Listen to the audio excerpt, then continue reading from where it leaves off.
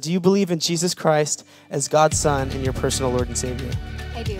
And do you promise to follow him with good and clear conscience for the rest of your life? Yes, I do. Based on your faith, your confession, and your commitment, we'll baptize you in the name of the Father, the Son, and the Holy Spirit.